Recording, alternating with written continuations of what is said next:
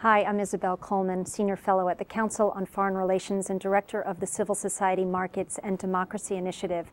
And I'm here today with Alyse Nelson, who is one of the founders and CEO of Vital Voices.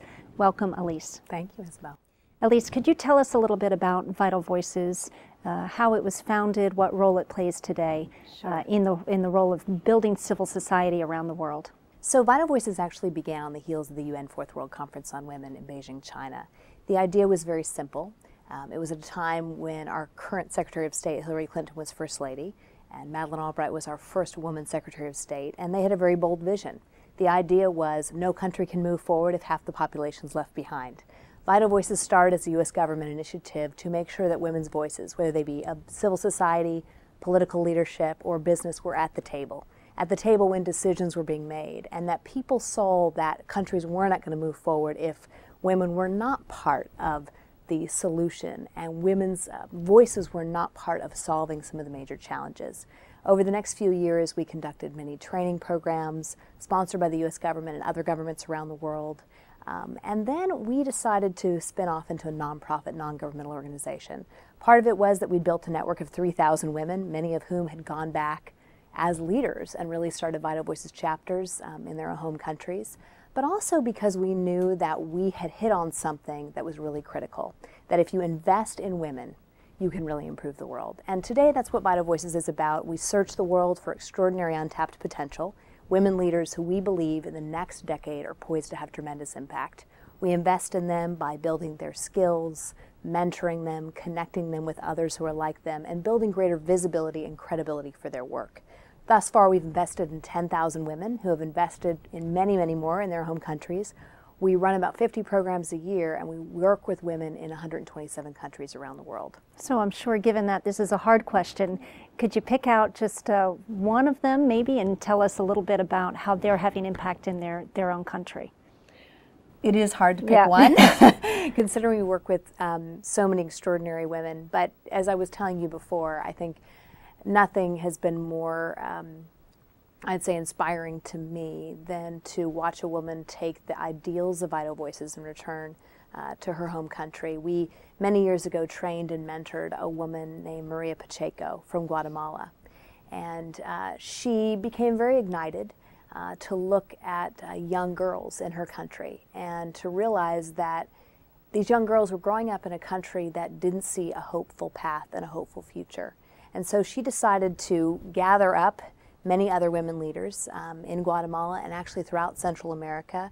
She launched not only a Vital Voices chapter there to train and mentor the next generation of young women and allow them to see that a different path forward was possible, that they didn't have to live in a society where they always had fear of violence, um, of corruption, that they could create their own future.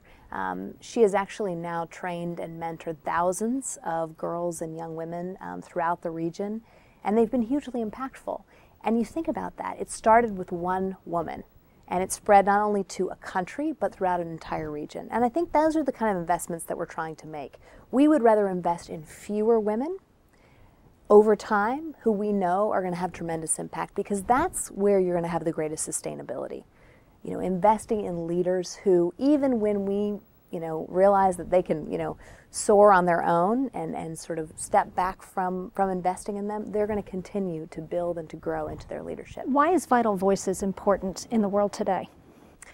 I think Vital Voices has import, been important for many years. Um, I think we are at a time in history where people are recognizing that women's voices are absolutely critical, that countries can't compete in the global marketplace if women's rights and opportunities are not respected and valued, and, and women don't have those same um, opportunities that men have, whether it's building you know, the economy of their country or it's whether being a voice in, in government or civil society. Um, I think that many organizations right now are needed, not just Vital Voices. Uh, we need many players right now to move the ball forward. People are focusing on women people are focusing on the great value that they bring. But I think until we, in this community of people who are working together, begin to work together, I don't think we're going to see real change. Alyse, there's tremendous change going on in the Middle East, as the whole world is aware of uh, right now. How has Vital Voices been working in that part of the world? What, uh, what concerns do you have for some of the women that you've supported, the women's programs that you've supported in the Middle East, and, um, and what, uh, what optimism do you have? Well, I think I'm a very optimistic person, and I think working with women leaders, you become optimistic, and you also are, are always humbled by by their work and their their hopefulness um, about what is possible. It's always fascinating to me when any um, tragedy, conflict hits a particular region because I watch the news, but I'm also looking at emails, you know, Facebook postings, blogs that are coming in from the women that we work with around the world. And we are so much, you know, more informed by what we hear from them. And in the beginning, um, you know, we began to hear about fear. We began to hear from the women that we work with. Um, we work in 11 different countries throughout the Middle East with businesswomen, human rights leaders. They were very fearful. But very quickly, we began to see that shift. And we began to see them getting organized. And we began to see them talking about how this could be a window of opportunity are they fearful? Do they know what's going to happen? No, they don't know what's going to happen. Um, but I think they are definitely courageous. They are definitely wanting to be part of the solution, part of the future.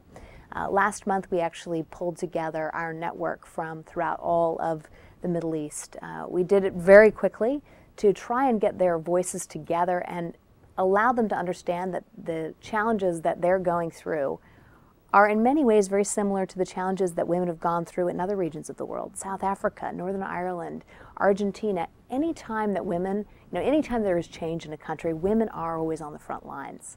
And I think it's fascinating because people are so surprised by that in the Middle East, that women are out there protesting. But it shouldn't surprise us. Yeah. Women are always on the front lines, and they do really want to be part of that solution, and they have to be. Um, we are worried, though. You know, we are concerned. Um, that this may be an opportunity to roll back rights for women.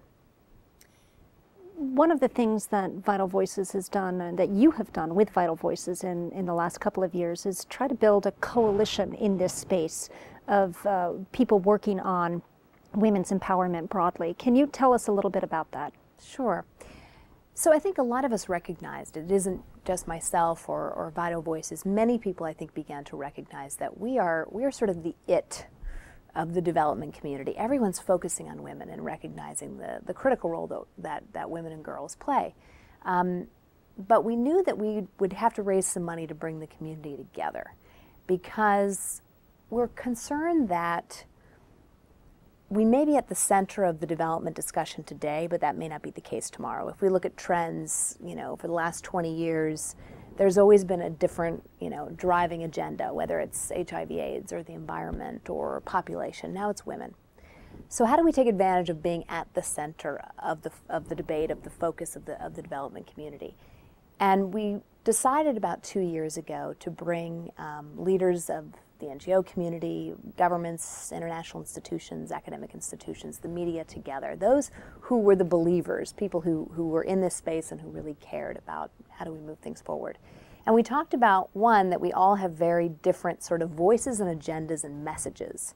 And we needed to unite behind one message so that people could understand what are we really trying to do. And then after we, what we that message? That message is really that no country can move forward if women's full potential, economic potential, is not being tapped. But when you think about women's economic potential, you can't just think about jobs. You can't just think about creating more entrepreneurs and access to finance. You have to think about all the sort of legal and social surrounds. So a woman actually can't, you know, grow a business if she can't own that business in her name, right? So that's a, that's more of a legal issue or a human rights issue. Now, a woman also can't be successful in her business if she doesn't have the right to vote you know, or if she, you know, is a victim of violence in her own community or in her own home. So when you look at the fuller picture, you see how actually so many of these other issues, whether it be girls' education, access to health care, uh, you know, human rights issues, funnel into, you know, women being a stronger part of greater economic growth. Thank you, Alyse. Thank you.